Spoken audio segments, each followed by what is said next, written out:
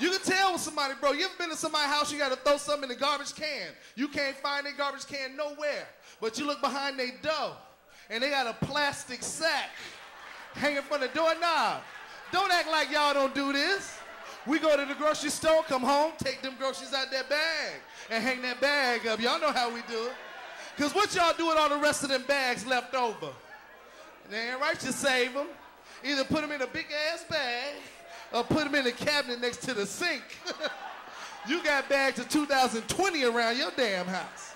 You can tell when somebody broke, especially now that the holidays here, people gonna cook out. Go to their house and look for them leftovers. Look inside their refrigerator.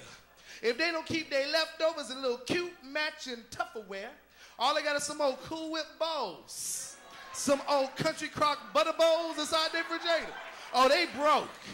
You never can find the butter. You be like collard greens, macaroni and cheese, spaghetti. You be like, where is the butter?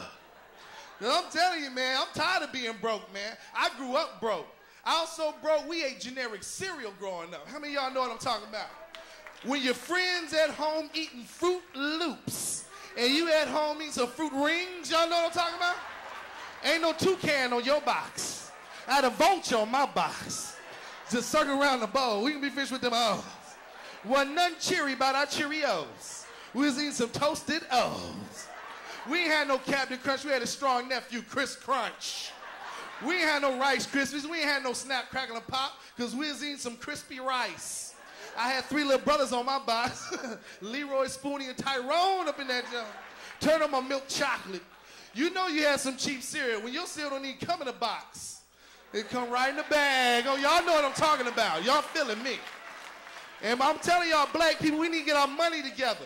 Black people spend more money than any race of people, and we ain't got nothing to show for it. Black people, as much money we spend, shouldn't some black people be on some money? I say if you put any brother on a dollar bill, it should be George Washington. He invented what, y'all? Peanut butter. The man invented 3,000 products we use every day. Clap if you use sugar. He granulated sugar so we can make Kool-Aid. I know y'all drink that. Flour, clap if you use flour. Chicken and fish.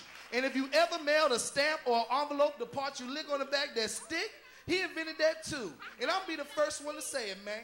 If you ain't gonna put the brother on a dollar, at least put his ass on a WIC voucher. You feel what I'm saying? My EBT card is something. Hey, y'all, I'm Hurricane Andrew. Enjoy the rest of the show. One love.